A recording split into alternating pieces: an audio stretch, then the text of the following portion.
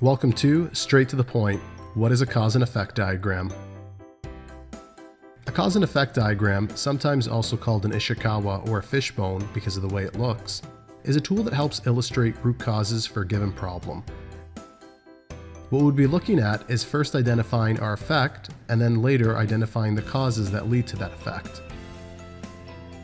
So assuming that you're creating a fishbone, you would take the head of the fish, and that would be your effect. This would be the problem that you're identifying. And then the spines to your fish would explore the causes that created that problem. We would approach it using a 5Y technique or Ask Why, which is from Lean Six Sigma. And ultimately, this will dig further into identifying what the root cause is. We're going to be taking a look at a very quick example for a fast food hamburger restaurant, and the problem that we're having is there's too many returns. Let's take a look at what this looks like in our cause and effect diagram.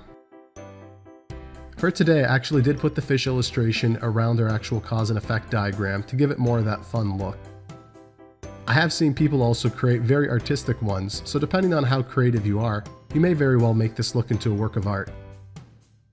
Looking at the far right, we can see the head is labeled hamburger returned, and this identifies for us the effect that we want to investigate. Now let's take a look at some of the causes. We can see that we have three causes. Starting in the top left, we can see that there's hair and food, wrong condiments, and then the food is too cold. Let's get started with our hair and food category, and then let's use our Ask Why technique to get further into identifying what the root cause is. We can see the reason why there's maybe hair in food is because there are no hair nets available. And maybe there's no hair nets available because they cost too much. Looking at our wrong condiments cause, we can see that there are two primary causes for here. Maybe the reason why we're putting the wrong condiments on the hamburger is because we can't read the screen. Well, why can't we read the screen? Well, that's because the text on the screen is too small. Looking at our other cause under wrong condiments is the ketchup is in the mayo bottle. Well, why would we have ketchup in the mayo bottle? Perhaps somebody had filled it in the wrong bottle. And looking at our last cause, which is the food is too cold, we can see that there are two reasons we've asked why. Maybe the food is too cold because we were waiting for fries. Well, why were we waiting for fries? Why was that hamburger sitting on the side? Perhaps there's just not enough fryers available.